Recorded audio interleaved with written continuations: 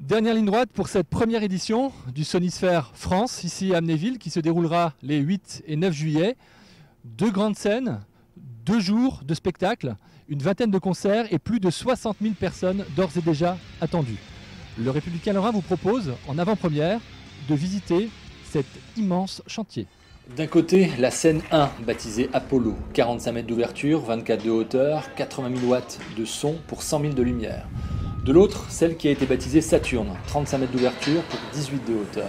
Deux cathédrales éphémères de décibels qui célébreront vendredi et samedi la musique métal avec le fameux Big Four, Metallica, Slayer, Megadeth et Anthrax, sans oublier évidemment Hysteria ou Slipknot pour ne citer que cela. Neuf semi-remorques de structure et 6 de câbles vont ainsi être nécessaires pour construire les deux édifices. Entre la sécurité, l'assistance médicale, la restauration, la technique ou la régie, plus de 1250 personnes travailleront en coulisses pour faire de cette première édition une partition sans fausse note.